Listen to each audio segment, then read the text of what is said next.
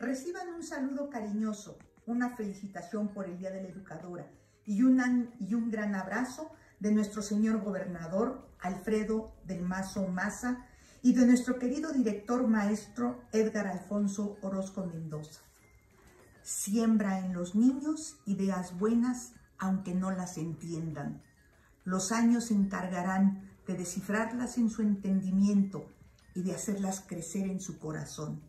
María Montessori. Ustedes, mis queridos educadores y educadoras, son y serán por siempre aquel labrador que cultive en cada individuo aquellos ideales que habrán de formar el carácter de los futuros ciudadanos. Ustedes, quien con voz delicada y suave pueden transformar la tierra hostil del contexto humano en sueños y realidades de una sociedad más justa y próspera. Hoy, 22 de abril, me es muy grato reiterar la gran importancia que trae consigo esta noble labor, la de ser educadora. Segura estoy, así como una servidora, esta profesión la, elegimos por vocación y no por imposición, ya que no hay nada más grato que ver en las miradas de aquellos pequeños la ilusión, la imaginación y la nobleza que son características de nuestros primeros años de vida. Hoy más que nunca, con la situación actual que vivimos, no podemos dar cuenta de que es imposible dar marcha atrás. Al contrario, es un buen pretexto para replantearnos el papel predominante de nuestra tarea, educar hombres y mujeres de bien. La Escuela Normal número 3 de Toluca se complace en contar dentro de su institución con los educadores más capacitados del Estado. ¿Y por qué no de nuestro país? De esta institución han egresado notables personajes que han sabido marcar la diferencia a lo largo de la historia educativa. Es por esta razón que las y los exhorto a pertenecer a este listado de mentores que con el simple hecho de haber transformado una vida pueden decir con toda satisfacción que lo han transformado todo. Mis mejores deseos hoy y siempre para todas ustedes. Recuerden que en sus manos está lo más valioso que una sociedad puede tener, sus niños. Felicidades y enhorabuena.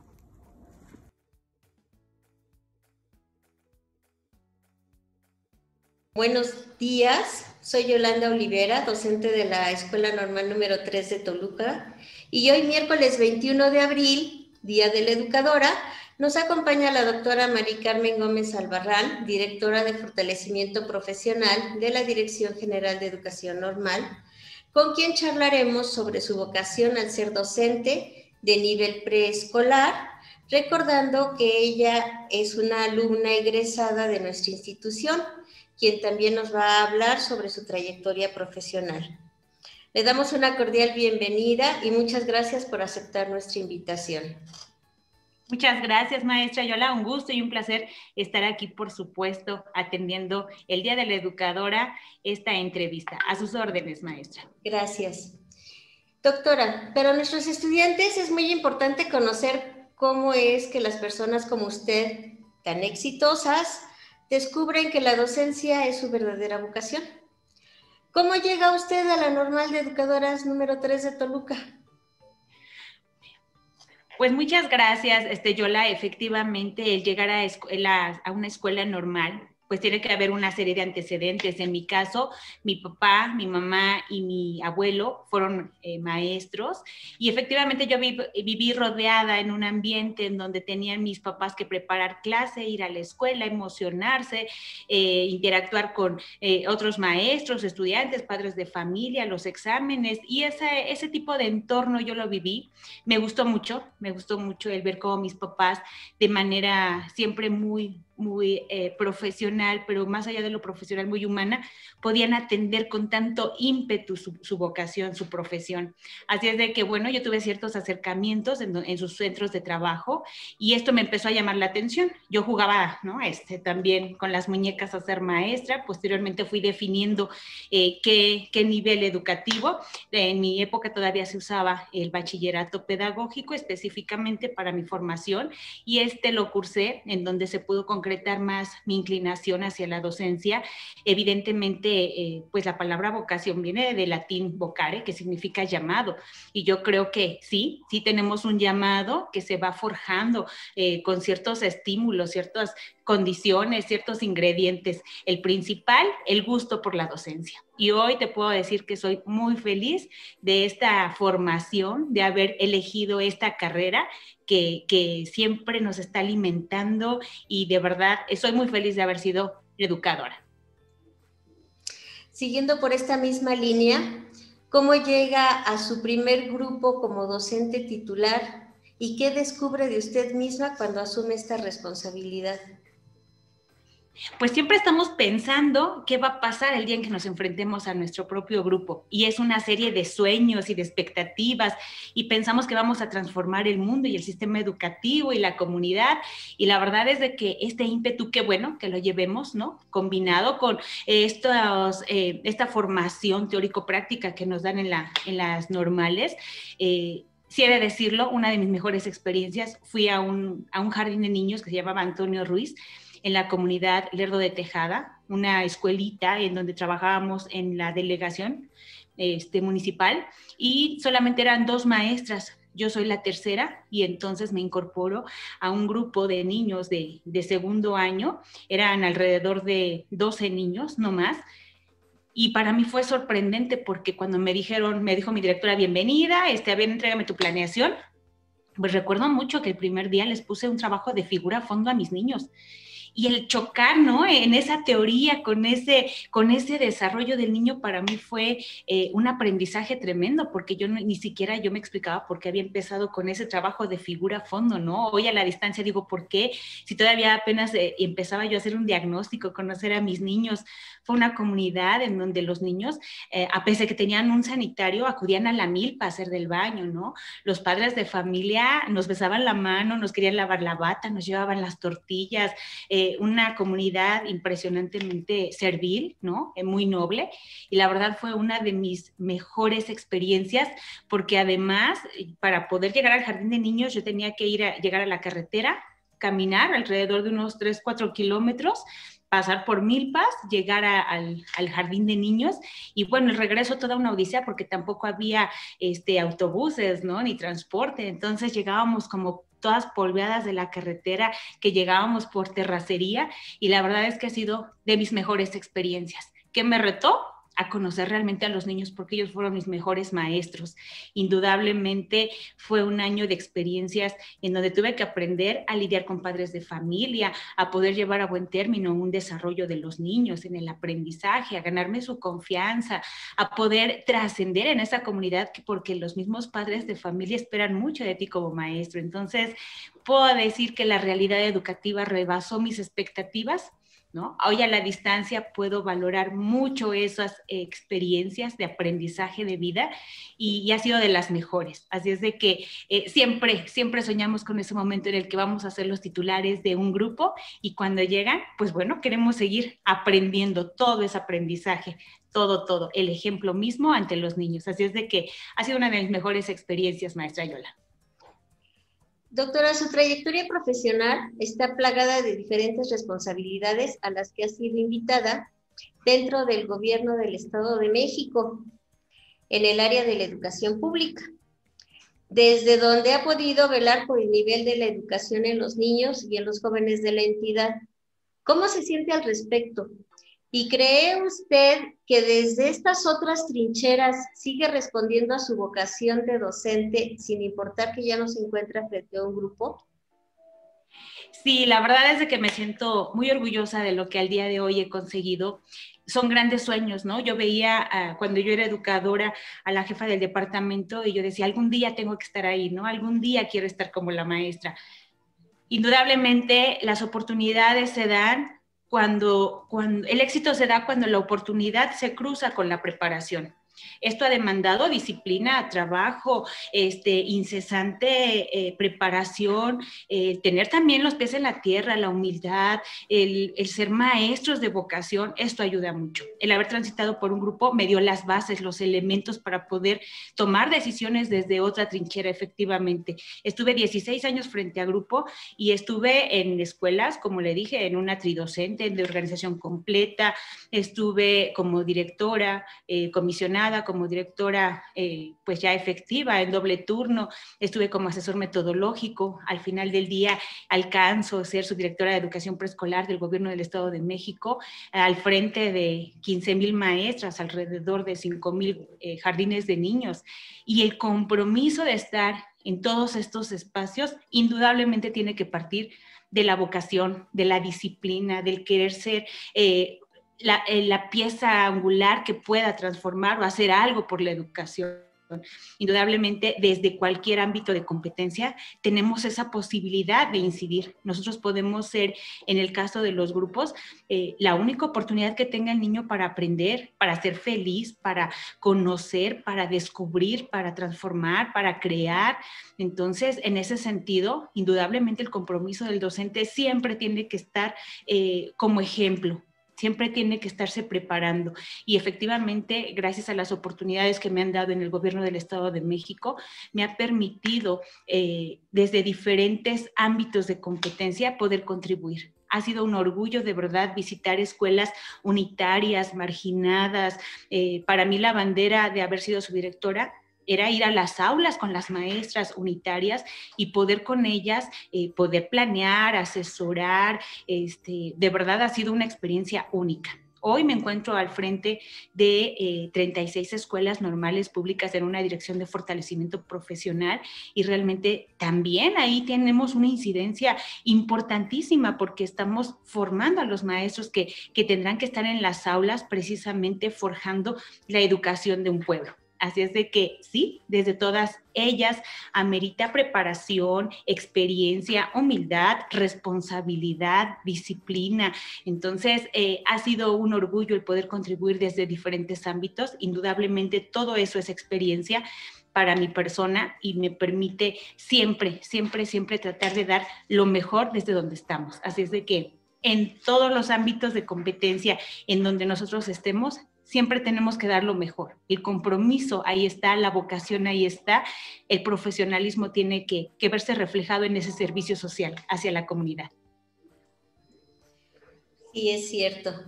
¿Un mensaje que quiera dirigir a nuestros estudiantes para cerrar esta charla? Bueno, pues primero que disfruten mucho la carrera, el poder eh, tener la vocación, el poder desarrollar con ética y profesionalismo, con autonomía intelectual y ética, el, desarrollo de nuestro trabajo, tiene que ser lo más importante. Seamos congruentes, estudiantes, en, poder ser ejemplo con nuestros estudiantes y poderlo practicar día a día. Hay que ser disciplinados y disciplinado significa prepararte, eh, no improvisar, llevar siempre a la vanguardia a nuestros estudiantes, llevarlos a pensar, a reflexionar, a ir más allá tú como maestro puedes generar tantas oportunidades de aprendizaje como marco conceptual y marco referencial tengas.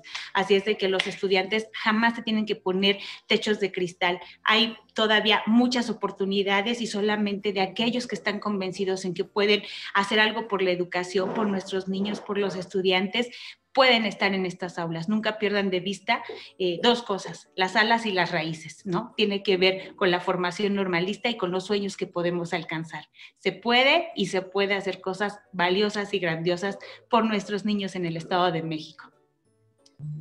Doctora Mary Carmen Gómez Albarrán, ha sido un placer escucharla y en nombre de la Escuela Normal número 3 de Toluca, le agradezco por aceptar y acompañarnos en esta charla. Agradezco también al equipo de promoción y divulgación cultural de la Normal y gracias por el favor.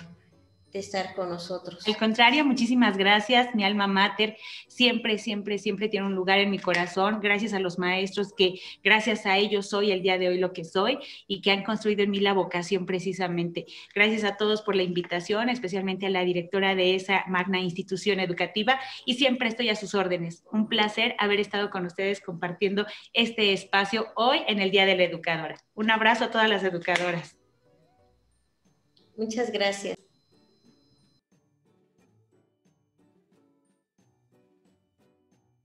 Buenos días, estamos con la maestra Lorena Lila Márquez Ibáñez, que nos está haciendo favor de compartirnos el día de hoy su experiencia como docente de educación preescolar y toda su experiencia que tiene a través, que ha tenido a través de, de su trayectoria y que nos va a ilustrar en todo lo que una alumna de preescolar puede esperar para su futuro. Buenos días, maestra, ¿cómo está usted? Buenos días, maestra Yolita, gusto de saludarla. Muchas gracias. Maestra, ¿nos podría compartir cómo descubre su vocación a la docencia? Ah, mire, esa es una historia muy bonita porque yo soy hija de padre y madre maestros, maestros de primaria. Entonces en mi casa pues siempre veía eh, este, que mis padres tenían que eh, preparar sus clases, sus materiales, pero eran maestros de primaria. Los veía cómo calificaban, pero en realidad, pues ya cuando defino mi vocación, es cuando mi orientador vocacional en secundaria, en tercero de secundaria, nos hace un examen. Y cuando me manda a llamar, me dice, tú puedes ser una excelente licenciada en Derecho, una abogada, o puedes ser una excelente maestra. Y entonces no dudé nunca no titubeé en decir, ay, no, pues, ¿qué me decido o por cuál carrera me decido? No, sino yo dije, yo quiero ser educadora y fue lo primero que le externé a mi orientador. No, yo quiero ser educadora, ni siquiera dije maestra de primaria o maestra de secundaria, no, no, no, yo dije, quiero ser educadora. Cuando llegué a casa, eh, le comento a mi madre, mi madre quería que yo fuese abogada, entonces pido el respaldo de mi abuela materna y el respaldo de mi padre para que me permitieran ser educadora. Pero quiero decirles que en esta anécdota lo, lo importante es de que cuando uno está definido en lo que tú quieres ser y de verdad que dices, voy a ser exitosa en lo que, en lo que estoy eligiendo como educadora, es de que mi madre eh, no asistió a mi graduación. Ella todavía después de tres años de que yo estuve en la escuela, porque en ese entonces estudiaban nada más tres años, eh, mi madre decidió no ir a, a, mi graduación porque ella el primer año, el segundo y el tercero me insistía que dejara la carrera y que me fuese yo a la universidad a estudiar derecho. Y era tanta mi fortaleza de ser educadora, tanta mi convicción que yo nunca hice caso, pero sí tenía el apoyo, les repito, de mi abuela materna y de mi padre, que eran los que me entusiasmaban en terminar mi carrera. Y la terminé y la culminé. Después de un año, después de un año ya de ejercer mi profesión, mi madre se convenció y entonces hablábamos ya el mismo idioma el mismo idioma de educación y llegamos a ser muy buenas amigas porque eh, nos unió esa, esa convicción, ¿no? La, la educación. Ella era una excelente maestra y yo pues muy convencida de lo que había estudiado, pues teníamos un buen diálogo. Así es como yo decidí ser educadora y mi, mi, vocación, pues se la debo mucho a mi orientador vocacional, que fue el que en el fondo yo creo que quería y lo tenía ahí metido, pero mi orientador vocacional fue el que definió que yo decidiera ser educadora. Muchas gracias, maestra. ¿Y cómo fue esa primera experiencia frente a un grupo?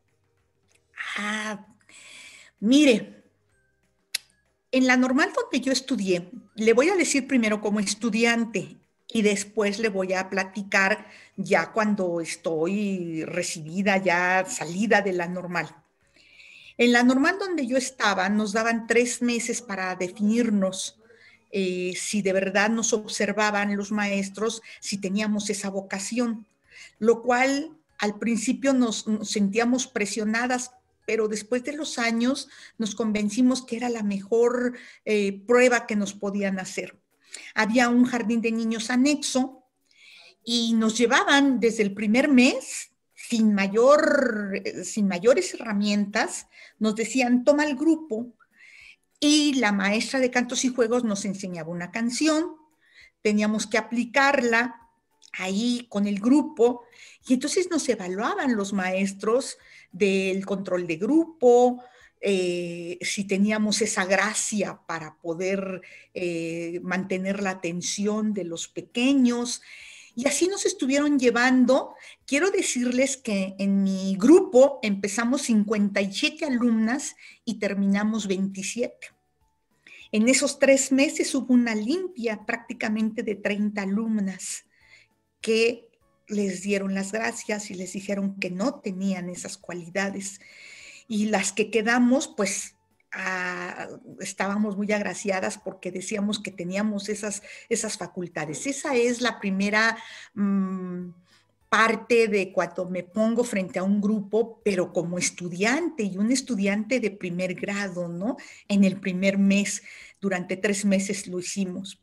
Pero ya cuando me recibo, me mandan a Nezahualcóyotl, a, a un jardín de niños que estaba inmerso en un internado para niñas que eran niñas de la calle.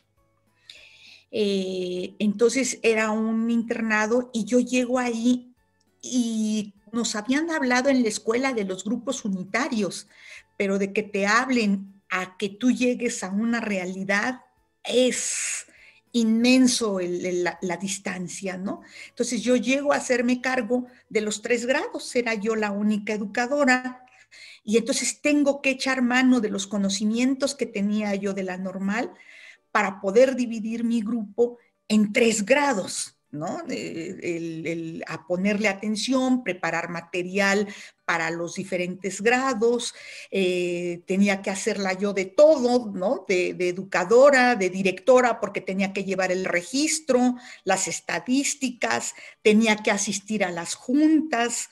Entonces es como que dices tú, esto no es algo que me haya eh, enseñado en una realidad la normal, pero sí es un gran impacto a nosotros como, como eh, recién salidas de la escuela. Dices, bueno, pues sí sé trabajar con un primero, sé trabajar con un segundo y sé trabajar con un tercero. Entonces, uno echa mano de esa intuición que también te, te, da como maestra, porque las excelentes maestras nunca vamos a decir este programa no es bueno o esto no lo puedo hacer. Las que de verdad somos educadoras de corazón, eh, sabemos qué tenemos que hacer y sabemos qué trabajar. Cantos y juegos lo hacía juntos, ¿no? Educación física también la daba junto, pero graduaba mis actividades de acuerdo a, los pequeños que yo tenía, porque en ese entonces tenía yo pequeños de tres años a seis años cumplidos. Entonces era distante, ¿no? Eran tres, tres años que tenía yo de diferencia, pero fue muy grata la experiencia, aprendí, trabajé tres años ahí con esas niñas, aprendí primero eh, manejar un grupo unitario, aprendí lo que hacía una directora, ¿sí? las funciones que hacía una directora, eh, aprendí que la directora tenía que asistir a reuniones con su inspectora, conocí inmediatamente la función de una inspectora, pero aparte conocí que a los pequeños, mientras tú les des eh, todas las actividades que atiendan sus propias eh, capacidades, sus propias competencias, los vas a tener siempre muy atentos, no, no me tenía problemas de disciplina mm, en lo absoluto. Eran eh, los, los trabajos que yo les daba estaban bien graduados, pero eso quiero decirles que me lo dio la normal donde yo estudié. Sí, todas esas capacidades que yo tenía, todas esas herramientas de enseñanza-aprendizaje, pues definitivamente se lo agradezco a la normal donde yo estudié. Por eso exhorto a todas mis alumnas a que tengan el, el, aprendizaje, que tengan mucha atención en lo que les enseñan sus maestros, porque tarde o temprano lo van a llevar a la práctica, que fue lo que a mí me pasó. Gracias, maestra. Maestra, ¿cuántos años fue docente de preescolar? Ah, pues frente, al grupo. sí, frente al grupo, efectivamente frente al grupo tuve la oportunidad de estar nueve años, estuve en uno, dos, en tres jardines de niños, ¿sí?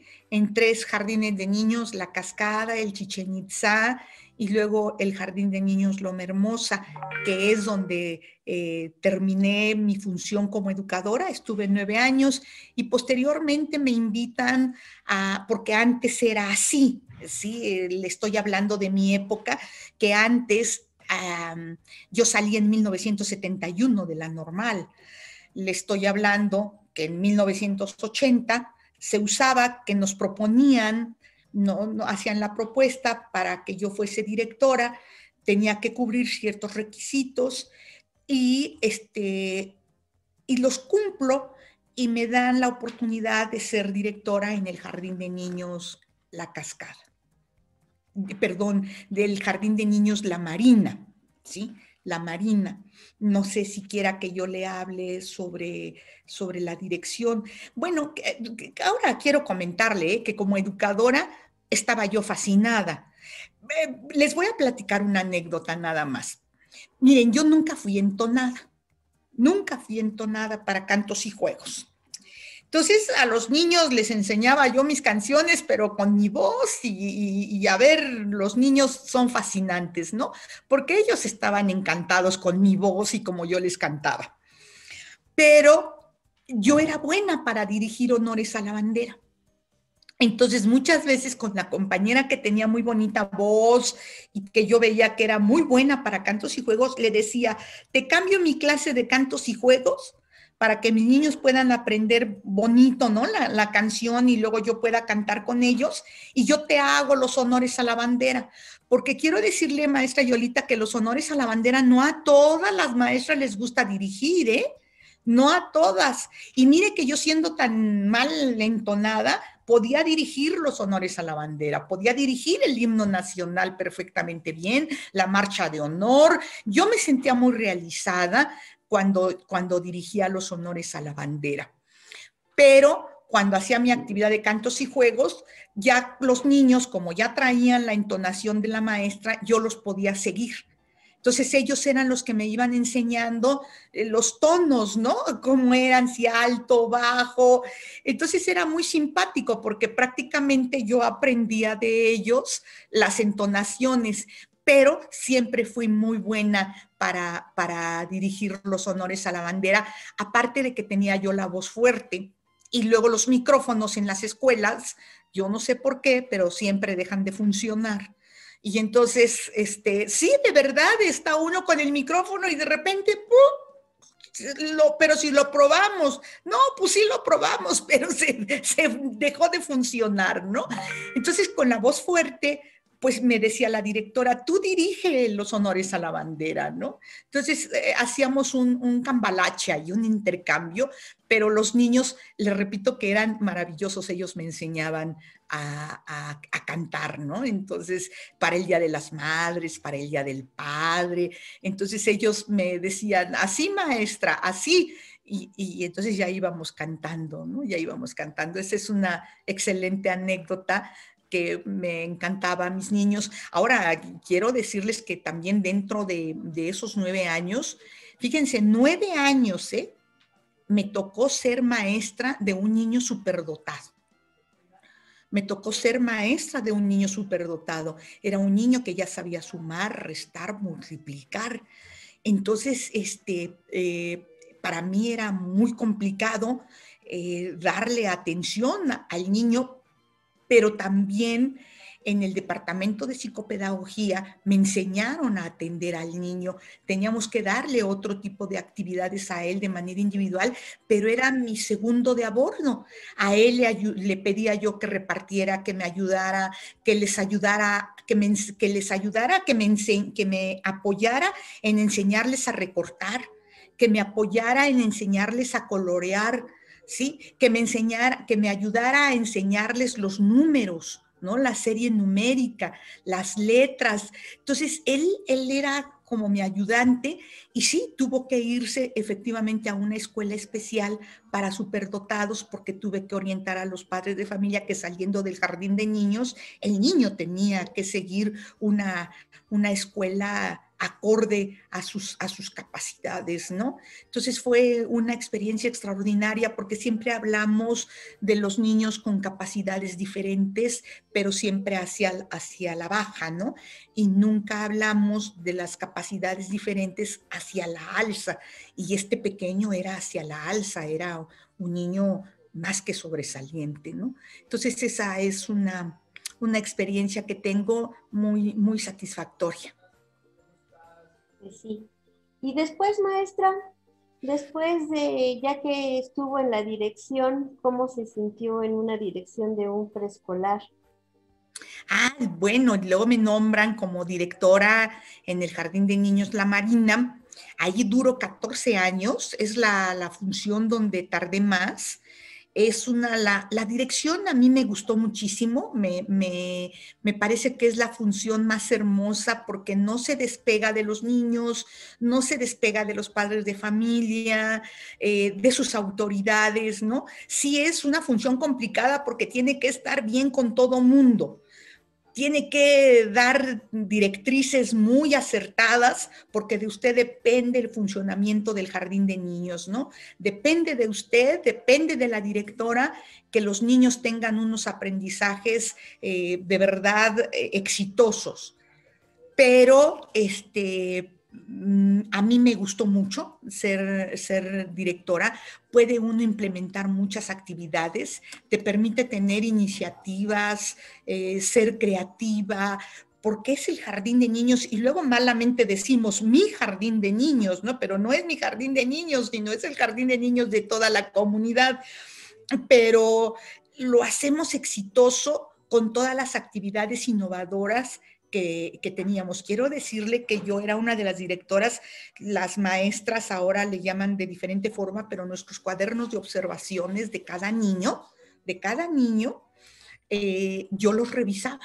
Yo los revisaba y también hacía observaciones de los niños, porque después ese jardín de niños se, se, volvió un jardín de niños mixto, que antes le llamábamos de servicio mixto, donde los niños comían y desayunaban y comían. Entonces, yo tenía que estar en la actividad de los alimentos, ¿no? Ver cómo los preparaban.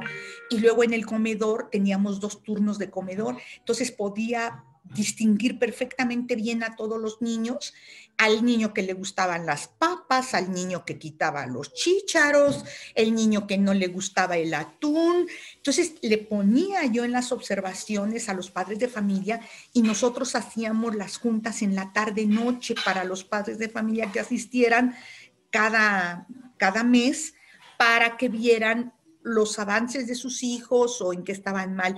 Creo que podíamos innovar muchísimo, ¿no? La, la, allí como directoras, yo quiero decirles a, todas mis, mis alumnas que siempre pugnen por, por superarse, que si van ustedes a ser educadoras, sean las mejores educadoras, las mejores educadoras y cuando lleguen a la dirección traten de ser también siempre la mejor directora, ¿no? Porque eso les va a permitir innovar, eh, cambiar muchos pensamientos de sus maestras, eh, desempolvarlas. ¿Saben cómo las desempolvamos? Hasta cambiándolas de salón. Yo recuerdo, maestra Yolita, que cuando les decía a las educadoras, ahora vamos a tener cambios de salón, cuando terminaba un periodo escolar y les decía, vamos a cambiar de salón, bueno, era un escándalo que decían que no. y yo les decía que sí, que no era a discusión, ¿no? Que eso no era, no era un tema a discutir.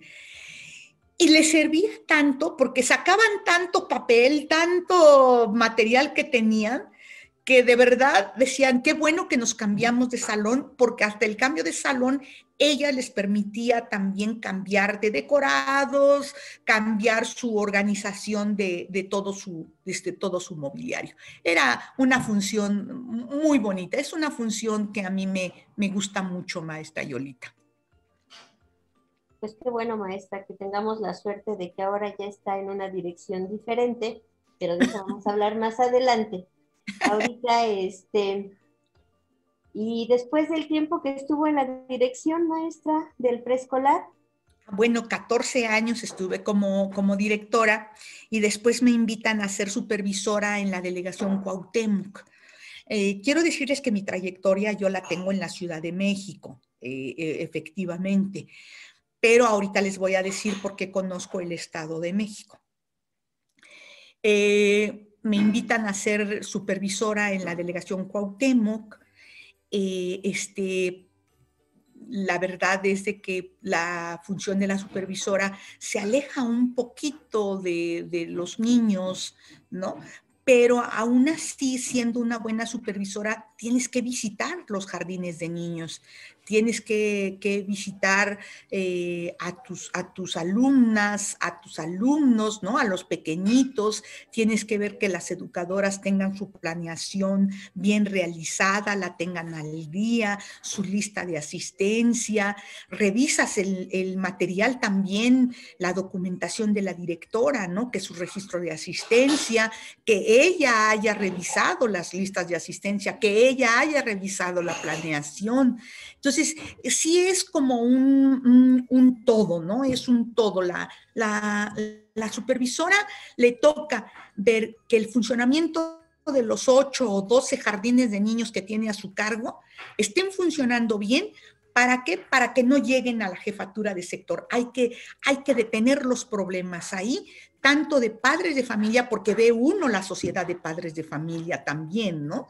También tiene uno que ver los gastos de los jardines de niños de servicio mixto, o sea, los que tienen alimentos que se les cobra a los padres de familia. En mi época, en mi época se llegaron a cobrar hasta siete pesos diarios. Normalmente se cobraban cinco y después aumentaron a siete pesos. Ahí me quedé en la cuota de los jardines de niños con servicio mixto, pero las directoras tenían que dar los informes. Entonces, el trabajo de la supervisora es muy administrativo, extremadamente administrativo y extremadamente ¿cómo le podría decir? Como personal, ¿no? A ver, problemas con padres de familia, la supervisora tiene que ayudarle a la directora a subsanar el problema con padres de familia. Que problemas con alguna maestra, la supervisora tiene que ayudarle a la directora a subsanar el problema con una educadora. Eh, problemas con el sindicato también, ¿no? Eh, este, con los trabajadores manuales. Entonces, como que la supervisora es un pararrayos, ¿no? De que, de que hay que detener esto antes de que, de que explote. Entonces se vuelve muy administrativa, muy, muy em, elocuente en cuanto a detener eh, y solucionar y solucionar, sobre todo solucionar problemáticas, y son problemáticas personales, mucho de relaciones personales y mucho de la parte administrativa, que todo esté al corriente y que todo esté transparentado. Mucha gestión también, ¿no, maestra? Mucha gestión, sí. Los jardines de niños se vuelven autogestivos. Deje decirle que los jardines de niños se vuelven autogestivos y la supervisora tiene que apoyarle a, a la acompañar a que vaya a determinada fábrica, a determinado hospital, a determinada instancia que tiene cercana para que pueda recibir donativos. Entonces sí, la supervisora se convierte en un, en un elemento muy sustantivo para poder apoyar a los jardines de niños y reciban su, su, su, apoyo. Deje decirle que cuando yo estuve en el Jardín de Niños La Marina, yo estaba enclavada en la zona militar. Entonces mi supervisora me ayudó para hacer los trámites necesarios para poder eh, tener ayuda, un subsidio prácticamente de los militares, del ejército, ahí con la Secretaría de la Defensa. Entonces, él es el que construye el jardín de niños, la marina, lo dota de material, de mobiliario. Entonces, los jardines de niños se vuelven autogestivos. Tiene usted toda la razón. Ahora, quiero decirle que después de ser supervisora tres años aproximadamente, me invitan a ser encargada de una jefatura de sector. En ese entonces, estoy hablándoles de, mi época, de los ochentas, eh, se usaba que era la, la, maestra de grupo, ¿no? la educadora, la maestra de grupo, posteriormente la directora, luego la supervisora y la jefe de sector. En mi época éramos 200 supervisoras en el Distrito Federal y 36 jefes de sector. Es decir, el embudo era así, la pirámide. La pirámide era así.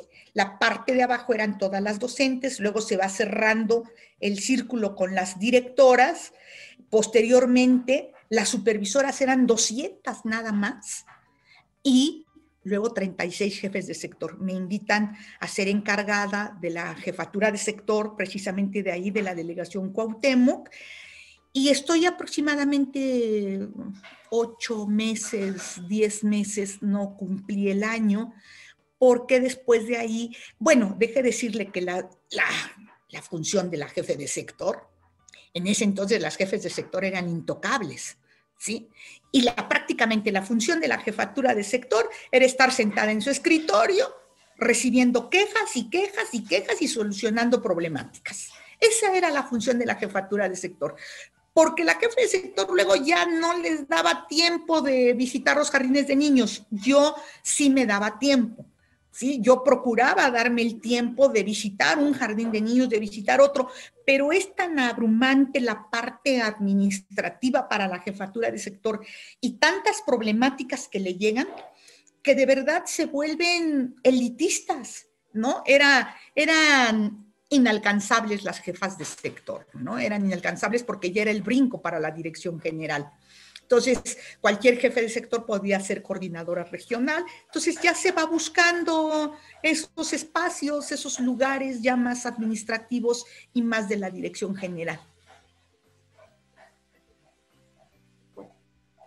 Sí, maestra, qué bueno. ¿Y, y después, maestra?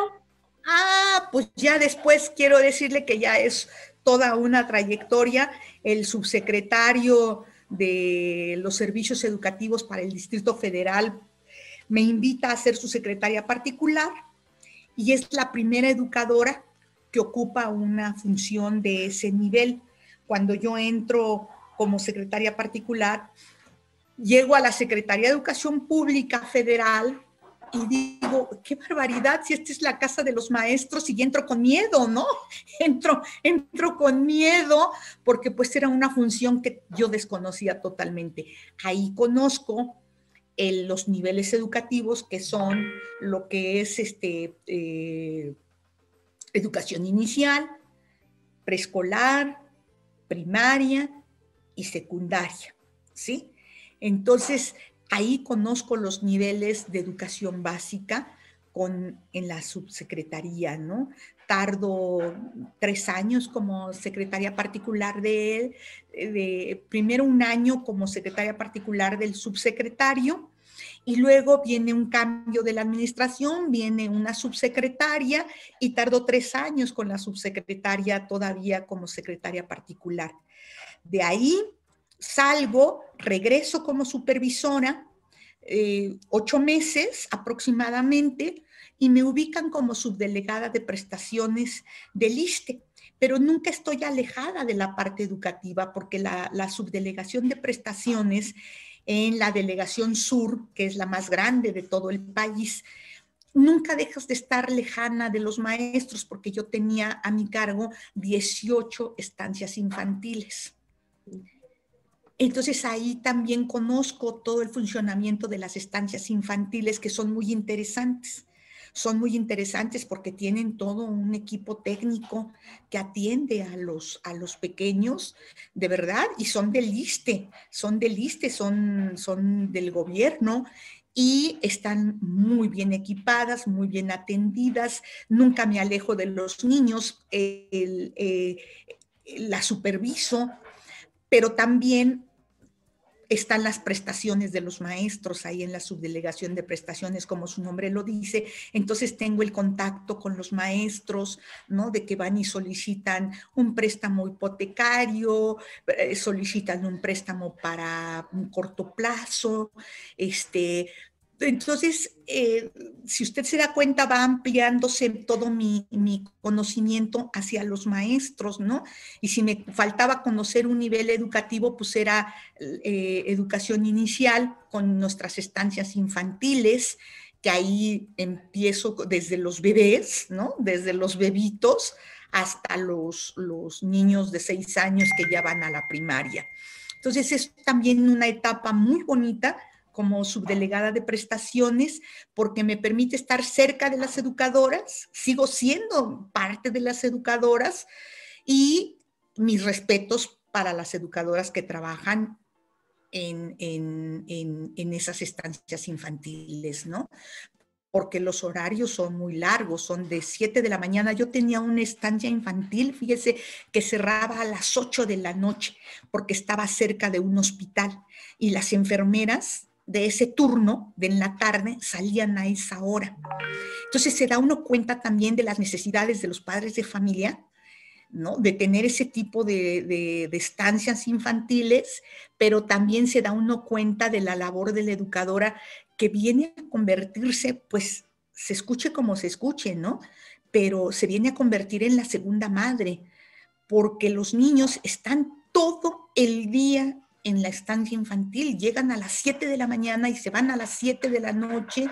Y, y, entonces e, ellos el único contacto que tienen son con sus educadoras, ¿no? Con la educadora del turno matutino y con la educadora del turno vespertino y con sus niñeras, ¿no? Con las auxiliares. Entonces, de verdad, mis respetos para las educadoras, ¿no? De, todos los jardines de niños. Le digo que ahorita yo estaba muy molesta en la ponencia porque dicen, es que las educadoras nada más limpian los mocos. No, ¿cómo? Por Dios santo, ¿no? Yo tenía ganas de decirle a la ponente, déjeme participar, déjeme participar porque las educadoras fortalecemos los valores, este, eh, estamos eh, impulsando las competencias de cada pequeño, les damos atención individual a cada pequeño, así tengamos niños, 30 niños, 25 niños, les damos una atención individual porque conocemos sus necesidades, ¿no? Entonces, de verdad que como subdelegada de prestaciones me permite hacer un círculo no solamente de las educadoras, sino en sí del magisterio, ¿no? De las necesidades del, del magisterio. De ahí, si gusta, le puedo comentar que de ahí me voy a televisión educativa.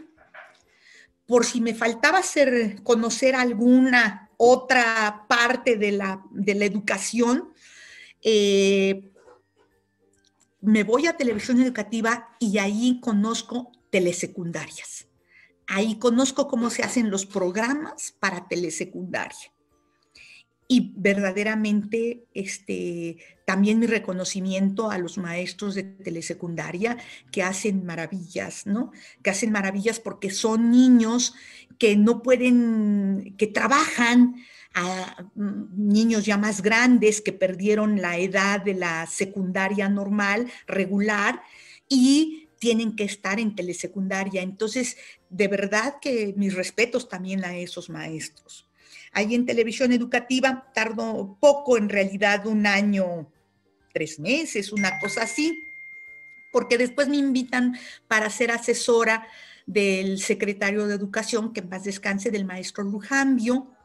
Sí, me, me, voy como, como, como, asesora de, también de la otra secretaria que hubo, de Josefina Vázquez Mota, y eh, me, deje decirle que eso termina de, culmina con mi conocimiento, porque ahí me dan eh, tareas de educación media superior y superior.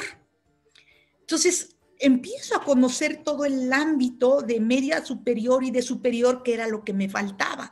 Entonces, ahí, eh, siendo educadora, en lugar de darme algunos programas de educación preescolar o de educación básica, me, meten a lo que es media superior y superior y empiezo a conocer eh, el trabajo de, de educación superior.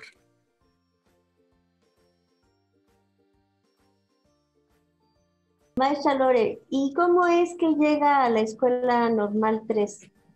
¿Cómo llego? ¡Qué barbaridad! Llegué sorprendida. No, no, no, no, de verdad, sorprendida cuando los conocí. No, mire, ya de manera muy seria quiero comentarle que tengo que dar gracias a mi señor gobernador, al licenciado Alfredo del Mazo Maza, por haber... Eh, confiado en esta su servidora de que yo haría un buen papel. Yo admiro y respeto a mi gobernador, sé que es una excelente persona, de verdad es muy humana y todos los que estamos cerca de él, que conocemos su espíritu, no tenemos más que proyectarnos de esa parte humana, ¿no? Del que él está hecho. Cuando yo llego y me presenta a mi queridísimo director, el maestro Edgar, a la normal y veo pues todo el número de maestros, pero los maestros como a la expectativa, ¿no? A la expectativa mm, diciendo, ¿y ahora quién nos llega, no?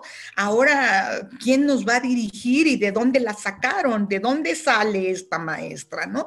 Que yo creo que ha de haber sido el cuestionamiento de, de todos, ¿no? Y ahora esta ya viene recomendada y a ver este, con qué circo nos sale, ¿no? Pero la verdad es de que yo eh, cuando los veo, los saludo y me sorprendo de sus caras. Cuando voy a saludarlos personalmente, esa imagen no se me va a olvidar porque normalmente las autoridades llegamos, saludamos, nos presentan y vámonos, ¿no? Y, y yo pues le pedí permiso a mi director general que si me podía acercar a ustedes y me dijo, claro, maestra Lore, y me dio mucho gusto acercarme a ustedes porque verle a los ojos a cada maestro, yo creo que eso es lo que nos permite tener esa cercanía, ¿no? Esa, esa honorabilidad, esa verme de frente con ellos, de que no se oculta nada, sino que vengo a trabajar, vengo a ponerme a sus órdenes y a que me permitan integrarme a su equipo. Entonces creo que eh, así es como llego, así es como, como, como llego, pero siempre con, con, la esperanza de ser mejor, de ser mejor maestra, de ser mejor persona. Y la verdad es que ah, yo me presento un lunes, el martes llego a la escuela a las 10 para las 7 de la mañana y veo las caras de sorprendidos de los maestros, ¿no? Que estaba yo ahí esperándolos, lo cual me hace del conocimiento que no, no habían tenido una directora que los recibiese tan temprano, ¿no? A, a, esa hora de la mañana. Entonces, como que ellos estaban sorprendidos porque pensaban que yo estaba ahí como para checarlos, ¿no? A ver, ¿a qué horas estás llegando? No, no, no, sino en realidad yo estaba ahí para darles la bienvenida, para saludarlos, para desearles un buen día, tanto a ellos como a las alumnas, ¿no? Y a los alumnos. Entonces, eh, me causaba mucha gracia de verles la cara al principio, pero ya después se fueron acostumbrando, ¿no? Se fueron acostumbrando y fuimos aligerando, luego se saludaban, eh, luego ya me saludaban y luego hacíamos, de repente se quedaba algún maestro a platicar conmigo y entonces llegaba otro maestro y saludaba y también se quedaba y entonces empezó a haber como un poquito de, fraternidad, ¿no? Entonces entre ellos también el saludo, el darse el saludo, el, decir, soy un compañero más de aquí, de esta normal, soy un colega más, pues eso te va llenando de satisfacción, maestra Yolita porque mi intención eh, aquí no es enseñarles a los maestros cómo trabajar porque yo estoy rodeada, siempre he dicho, de maestros muy preparados, muy leídos, maestros con maestrías, lo he dicho desde que llegué, maestros que tienen doctorados, maestros muy, muy profesionales. Yo no vengo a enseñarles cómo dar su cátedra. Vengo a aprender de ellos, efectivamente, pero también vengo a darles un poco de la parte humana que, que mi padre me enseñó. Eh, ahí sí puedo decirles que mi padre me enseñó y me decía, cuando tú des lo mejor de ti, ¿sí? Vas a recibir unas recompensas. Y creo que lo mejor que yo puedo tener es el lado humano, ¿no? El lado, el lado humano.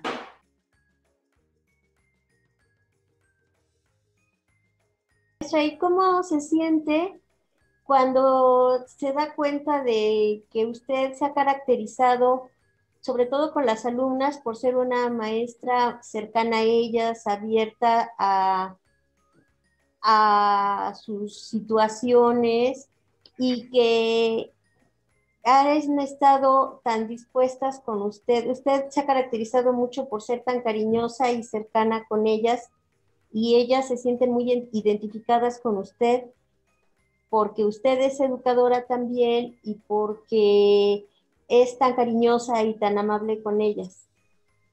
Ah, es que deje decirle, el cariño, el cariño se siente, ¿eh? el, cariño se siente y tiene que ser mutuo. Y uno tiene que utilizar todas las herramientas necesarias para acercarnos a nuestra población juvenil, de, de, de, los jóvenes, ¿no? De, las jovencitas y de nuestros alumnos, que ahora tenemos 11 alumnos. Entonces, la verdad es de que yo decía, ¿cómo me puedo acercar? Eh, y aquí entre paréntesis, deje decirle que esto sí lo aprendí, a, lo aprendí del gobernador, que es, estén cerca de la gente, ¿no? Él nos dice, estén cerca de la gente. Y decía yo, bueno, pues sí lo tengo que poner en práctica, pero ¿cómo voy a estar cerca de mis alumnas? Entonces, una de las maneras que encontré de estar cerca, dije, ¿cómo? Si yo ya, ¿sabe qué, maestra Yolita? Cuando yo llegué a la normal, era todo silencio, todo silencio. Parece que era una ley, todo mundo en silencio porque eso quiere decir que todos estamos trabajando. Cuando es una escuela de educadoras, cuando debería yo de estar en un patio escuchando honores a la bandera, ¿no? Los cantos de honores a la bandera, en otro patio debería de estar escuchando yo, Blanca Margarita, que en el campo creces, ¿no? Rondas. Eh, este, en, otro, en otro patio debería de estar escuchando bailes. Entonces decía, no, hay que romper esta inercia. Entonces se me viene a la cabeza, porque yo muchos años tomé zumba, y dije, bueno, pues algo les he de enseñar, ¿no? En, la clase de educación física, que me den permiso, y, en lugar de educación física les damos zumba.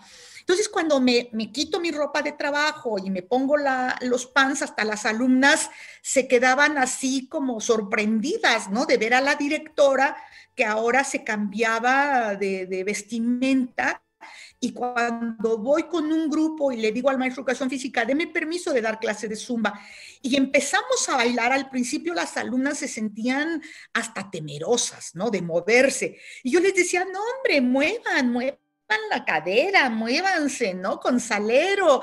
Y entonces empezaron a soltarse, empezaron a tener confianza, pero también tener confianza con su directora, de verla que es una persona igual que ellas, si me pican me va a salir sangre roja igual que a ellas, que tengo sentimientos igual que ellas. Entonces, eso nos acercó muchísimo esas clases de zumba. Luego yo pasaba y decían algunos grupos que no les había dado clase, directora, ¿cuándo nos da clase a nosotros? ¿No? Sí, y me sirvió muchísimo de, de ver cuando un maestro me llegaba a faltar, decir, a ver, este, eh, vénganse, vamos a tomar clase de zumba, ¿verdad? Porque no les iba yo a dar la clase de filosofía. ¿Sí? Entonces, eh, vénganse, vamos a tomar la clase de zumba. ¡Uh! Pero si de volada, aunque no tuviesen pants ni nada, ellas tomaban la clase de zumba. Mm, eso les llenaba de alegría. Eso empezó a ser ruidosa la escuela, pero ruidosa en el buen sentido de la palabra, porque estaban trabajando con música, pero alegres, ¿no? Entonces había que fomentar la alegría. Me recuerdo hasta luego algunas maestras incorporaron a tomar la clase de zumba, porque era feliz, ¿no? La música te hace feliz. Y luego, no sé, maestra Yolita, si usted se dio cuenta, cuando yo llegué, había persianas abajo de eh, cerradas, ¿no? En la dirección, puertas cerradas, había una puerta cancelada prácticamente con un librero. Y yo decía, cuando me di cuenta que era una puerta, dije, ¿y esta puerta por qué está cancelada? No, pues porque está muy a la mano del patio, ¿no? Y, y, se interrumpe. No, bueno, ábranmela, pues y de esos estoy pidiendo mi limosna, de que entren, de que me vean que estoy trabajando, ¿no? Y no importa que yo tenga mi taza de café, porque todos, todos en la escuela saben que yo soy cafetera. Entonces, eh, no importa que las alumnas, no importa que los maestros me vean con una taza de café, pero vean que estoy trabajando, que estoy al pendiente de la escuela, ¿no? Entonces, cuando las alumnas también empiezan a ensayar sus clases estas de danza, ¿sí? Sus bailes regionales, me asomo a verlas porque las disfruto verdaderamente. Disfruto verlas contentas, verlas bailando, verlas entusiastas que entran a una clase, que entran a otra, ver cómo comen su lunch. No, de verdad que disfruto.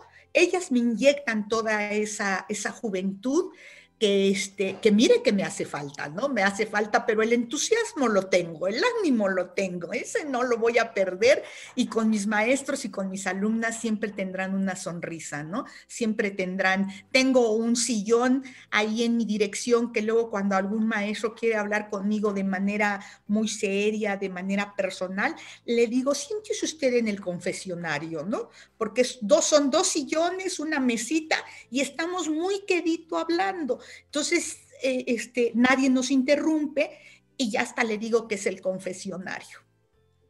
Ah, pero deje decirle, se me olvidaba, también tengo reuniones con las jefes de grupo. Tengo reuniones con, los, con las jefes de grupo, tengo, creo que son dos o tres jefes de grupo varones y las demás son las mujeres.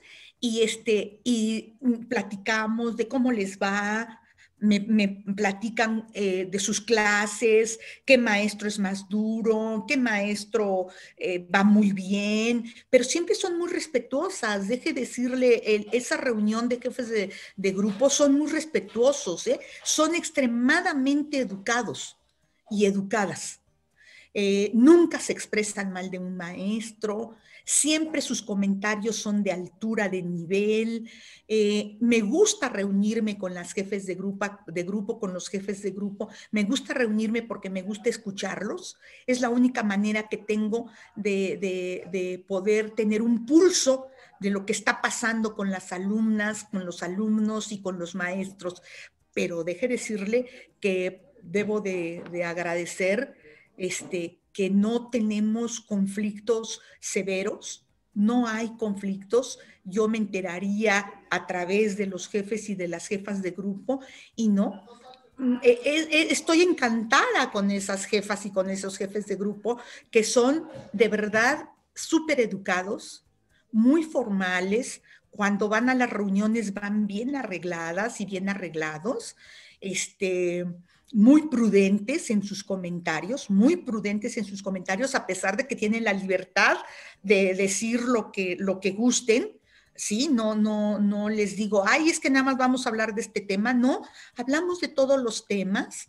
Eh, este, los invito siempre a que tengan buenas relaciones con sus, con sus grupos, que tengan buenas relaciones, que, que haya buena comunicación y que yo estoy a sus órdenes y ellos siempre están esperando la reunión de los jefes y jefas de grupo. Eso es algo que me ha gustado mucho. Muchas gracias, maestra. ¿Y cómo ve ahora, digo, después de 50 años de trayectoria casi, cómo ve el cambio en la educación preescolar? ¿Ha habido cambios fundamentales? Mire, a lo mejor voy a, a decir algo incorrecto pero para mí es lo correcto. Solamente nos cambian terminología. ¿Sí? Pero en general la esencia es la misma. Eh, ahora les dicen competencias. ¿Sí? Cuando a mí, cuando en mi época eran capacidades. ¿Sí? Entonces, eh, lo que han cambiado son la parte administrativa. Nosotros hacíamos unas sábanas, porque auténtico le llamábamos sábanas, para las observaciones de los niños. Hoy no, hoy lo hacen en carpetas, ¿sí? Pero en realidad los cambios, yo siempre he dicho, mire, le puede venir un programa, otro programa, y pueden venir 20 programas, y pueden venir 20 directoras generales de, de educación preescolar, pero la educadora, que es educadora de corazón, el educador que es educador de corazón, cualquier programa le queda su medida, le queda su medida. ¿Por qué? Porque yo leo los programas y voy leyendo los programas y me voy adentrando a ellos y yo digo, sí hay cambios, pero no radicales. Estos cambios los va a propiciar el maestro o la maestra dentro de su grupo. Yo le puedo dar el mejor programa a un maestro o a una educadora, pero si la educadora o el educador no es bueno, pues le va a servir de eso y de nada. Si el educador o la educadora escogieron su carrera con el corazón, con el corazón en la mano, y de veras están convencidos de que van a ser los mejores educadores, las mejores educadoras, cualquier programa que le pongan como le digo, va a estar a su medida, va a estar a su talla. Sí, a mí me podrán poner un programa, otro programa y otro programa, y las planeaciones, eh, este, la verdad es de que los cambios siempre serán para bien. Los cambios, yo siempre digo, ¿no? Los cambios sí, sí, siempre son para bien y nos tenemos que modernizar. Nos tenemos que modernizar en nuestro lenguaje, en nuestra manera de expresarnos, en la manera también de cómo percibimos un programa de educación preescolar, pero sí estoy convencida de que a mí me pones el programa de educación preescolar y ahorita me pones a dar la clase de cantos y juegos, la puedo dar. Puedo dar una este, actividad significativa, también la puedo dar eh, a, a mis 50 años, ¿no? a mis 50 años. Pues muchas gracias, maestra Lore.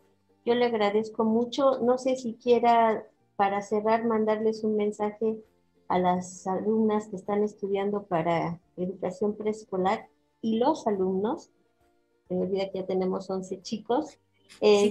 Este, en este día de que estamos festejando el Día del Educador. Pues miren, quiero comentarles a todos que ojalá hayan escogido la carrera que les gusta. La carrera de educadora, de educador, se debe de elegir con el corazón. Más que con la cabeza, más que con el estómago, tiene que ser con el corazón. Nosotros los maestros, las educadoras, los educadores sabemos que no vamos a ser millonarios nunca con nuestro salario. Nos va, a dar para vivir decorosamente, nos va a dar para vivir decorosamente, es cierto. Pero la entrega a los niños no tiene precio. Sí, lo que les podamos enseñar a nuestros niños, de verdad, no tiene valor. Ustedes ahorita que están, las que están por salir, ¿sí? vayan con ese objetivo, sean las mejores educadoras sean las mejores educadoras, sean lo mejor que tienen de ustedes. Y eso les va a redituar muchos beneficios profesionalmente hablando. A nuestras alumnas de primero, segundo y tercero, sigan y continúen con su trabajo. Sigan echándole todas las ganas del mundo. No se conformen con tener un 7 o con tener un 8. No busquemos la mediocridad busquemos el éxito, ¿sí? Miren, si yo me hubiera conformado con ser educadora, pues ahí estaría yo cumpliendo mis 50 años de servicio y, y no haber tenido todos los aprendizajes. Tenemos que ser audaces, pero audaces con nuestros niños, audaces con nuestra escuela, audaces con nuestros padres de familia. Tenemos que involucrar a toda la comunidad educativa.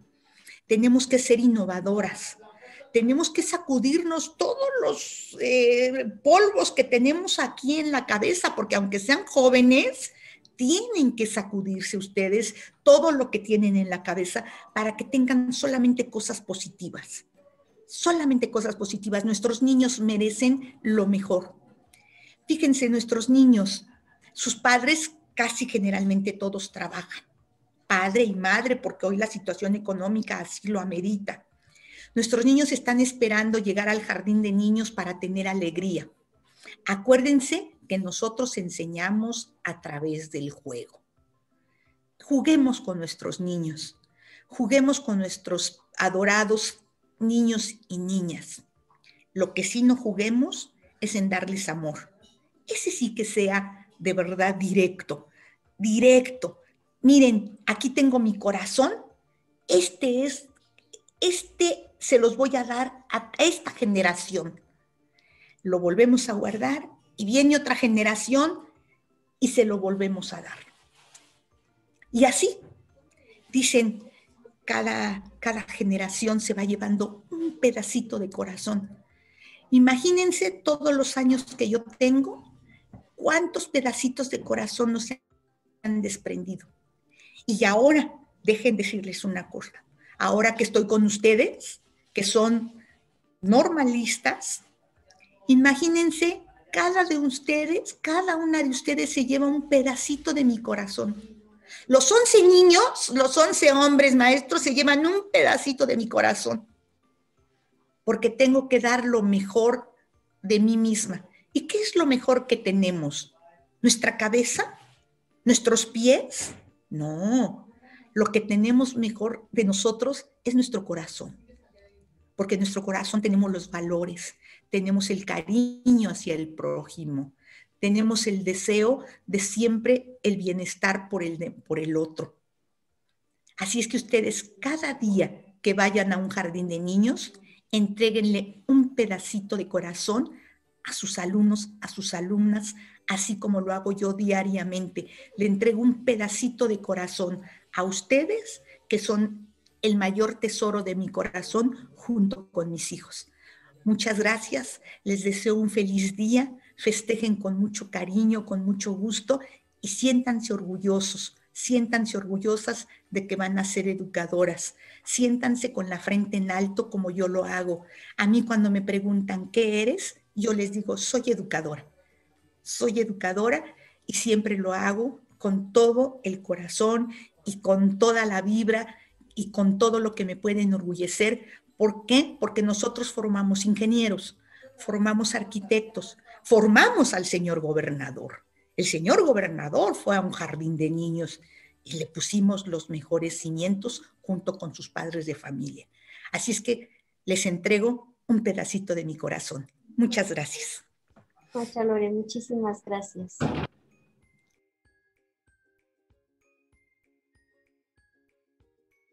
Buenos días. Soy Yolanda Olivera, docente de la, Escuela Normal 3 de Toluca.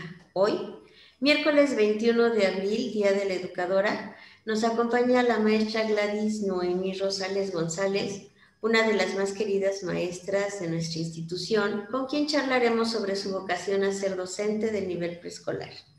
Le damos la más cordial bienvenida y muchas gracias por aceptar nuestra invitación. Ay, gracias a, ti, Yola, por considerarme dentro de este, de este momento. Y pues tú dices que empiezo. Para iniciar esta charla, coméntanos si siempre estuviste clara en tu vocación a la docencia. Pues no, no, definitivamente Gladys no quería saber de ser docente y menos de educadora. ¿sí?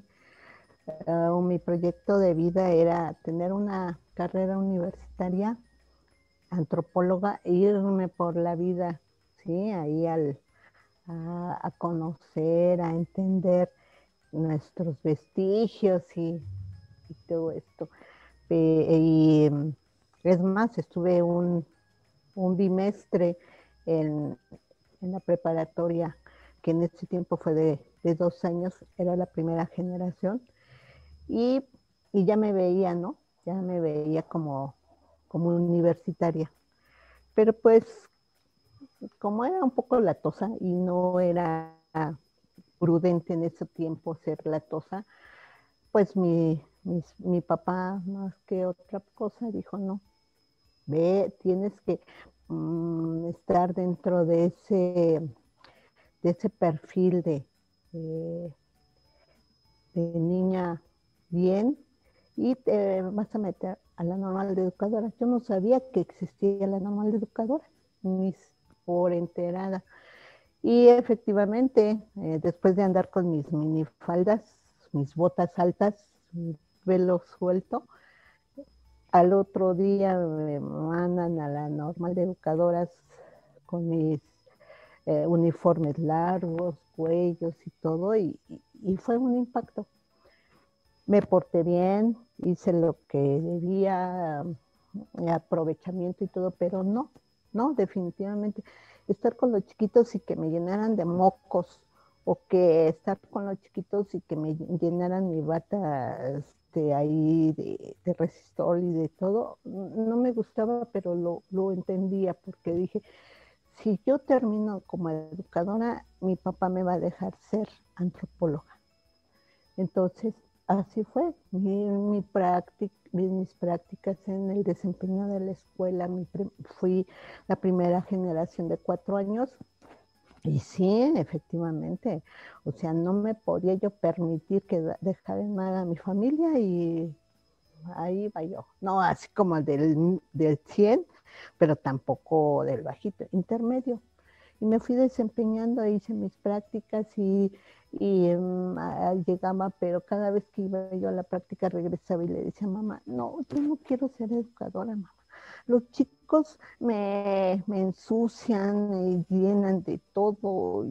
no, no, yo no quiero. Y ya, pasó. Afortunadamente logré salir y mm, este, mi primer trabajo al egresar sin que yo quisiera ser educadora fue en el Federico Fueble el Jardín de Niños que está en la Alameda, que ahora es el, que la biblioteca infantil, juvenil, ahí era. Y pues bueno, sí, seguir con eso porque todavía nos podíamos titularnos, no como ahora que sales y ya te titulas.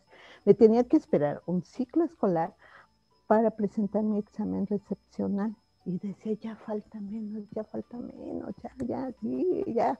Veía yo la luz al final del puente y, sin otra cosa que el desempeño de no dejar mal a mi familia, porque somos, eh, pues, docentes desde mi abuelita, mi, papá, mis hermanos y todo, como yo iba yo a dejar en mal a la familia y, lo hacía.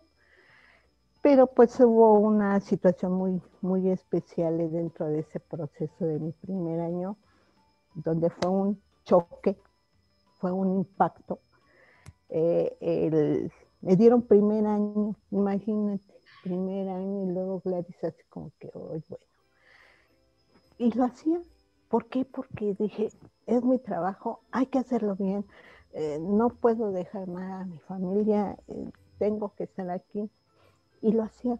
Entonces, eh, en ese primer año pues, sucedió una situación muy, muy especial, donde me movieron las fibras más íntimas de mi vida y, y un niño me, me movió al decir que sí es cierto, y lo hacía yo bien. Y fue en el momento que, que confirmé que la vocación no se nace para mí. La vocación no se hace, no se nace, sino se hace.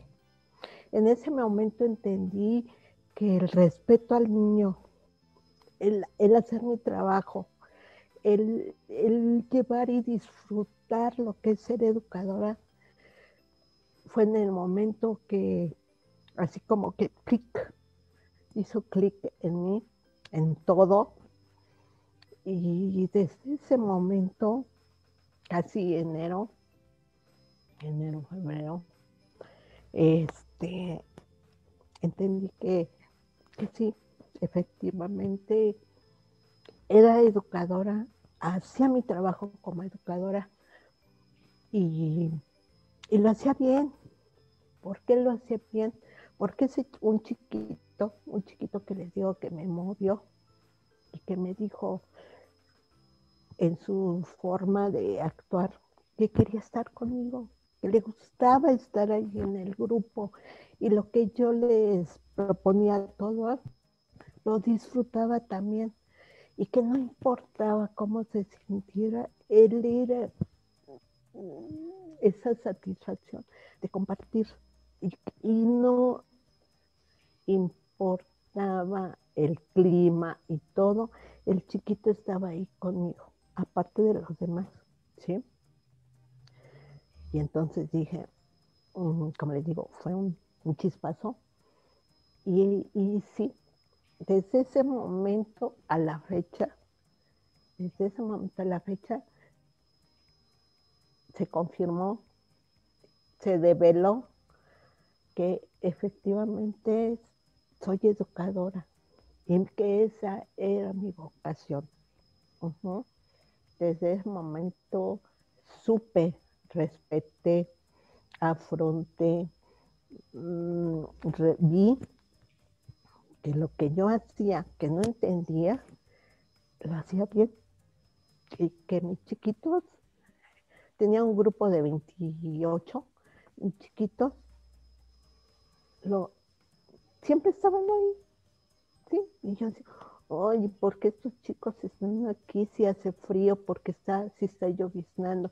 ¿Por qué si, sí? Y en los otros grupos no, y aquí están todos, ¿sí? Entendí entendí que, que sí, efectivamente tenía yo esa posibilidad de trascender con los mismos chicos.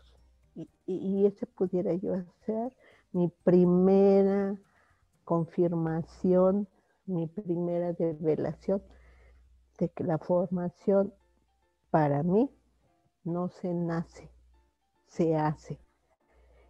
Y, pues es lo que te pudiera compartir, Yola. Y después de que ya estabas segura de que era lo que tú querías hacer, eh, ¿cómo, ¿cómo vas creciendo en esto de ser docente? ¿Qué vas encontrando en ti que te satisface lo suficiente como para dedicarte a esto? Pues mira, después de eso, pues son varios momentos. Te digo, experiencia, experiencia en la vida, pues no, porque la normal, en la normal de educadora lo más lejano que yo pude hacer en mi práctica dentro de mi formación.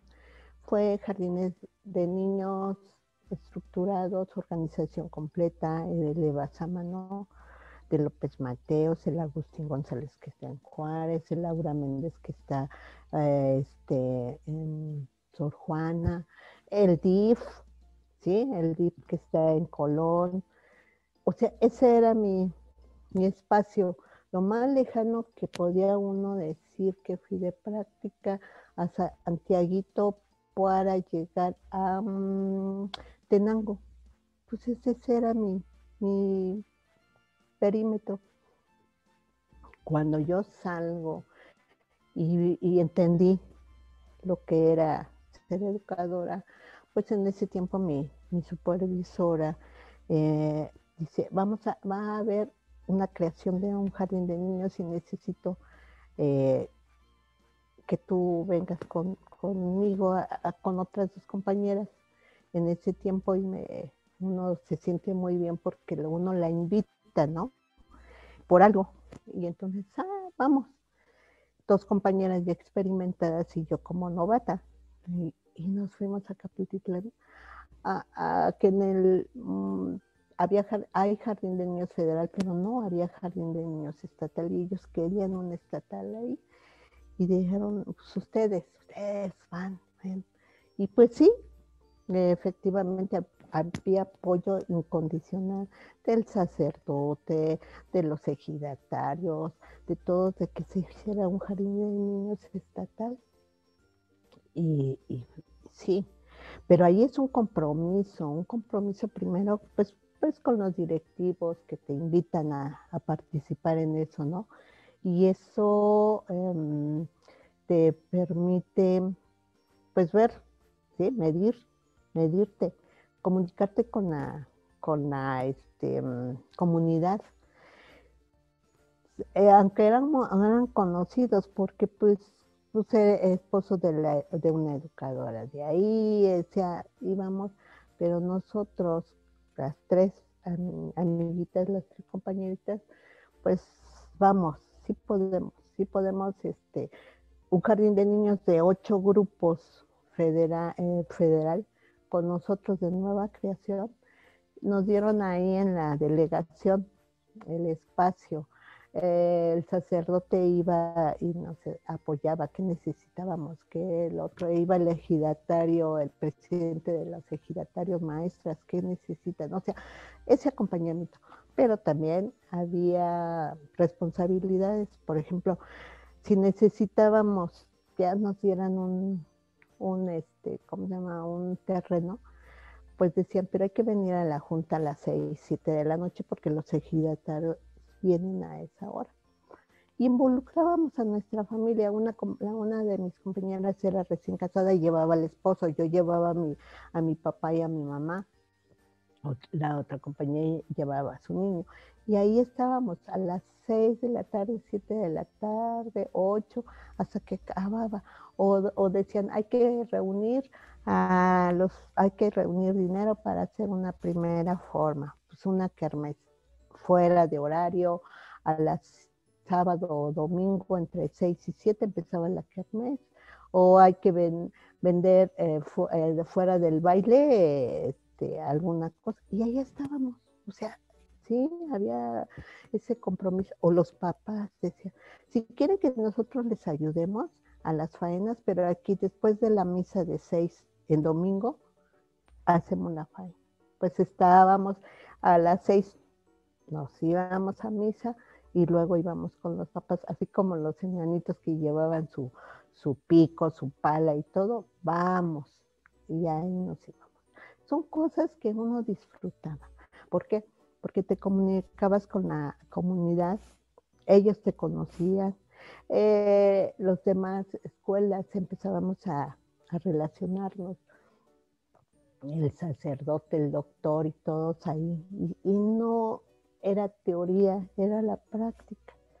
Entonces, y pues uno, así como un bueno, vamos a tener nuestro jardín. Y ahí está el jardín de niños en Capitán, que ahora es el, el jardín de niños doctor Pablo Latapí, con ocho nueve grupos eh, el doctor Pablo Latapí efectivamente vino e inauguró la escuela, hubo apoyo de él, cada año venía con su esposa y, su hijo Pablo a vernos. Bueno, yo nomás tuve uno o dos años y luego me invitaron a, pasarme a, al anexo. Entonces, ve, nada más mi, mi zona de influencia donde conocí el mundo y eso a mí me ayuda mucho, es que participé en, como apoyo en el departamento que en ese tiempo era el Departamento de Educación Preescolar. Y entonces ahí de verdad que conocí el mundo, el mundo, el mundo real, el mundo de necesidad, el mundo de, respeto a mis mismas compañeras en los diferentes espacios o en los diferentes contextos. Pues Gladys, ha sido un gran placer escucharte. A nombre de la Escuela Normal número 3 de Toluca, te agradezco por aceptar y acompañarnos en esta charla. Ay, amiguita, pues al contrario, gracias. Gracias primero por pues compartir, ¿sí? Eh, siempre he tratado de, eh, de ser así, me gusta eh, y creo que tú, tú más que otra persona me conoce ya de tiempo y que el ser educadora es adaptarse a los tiempos, pero no perder esa esencia, ¿sí?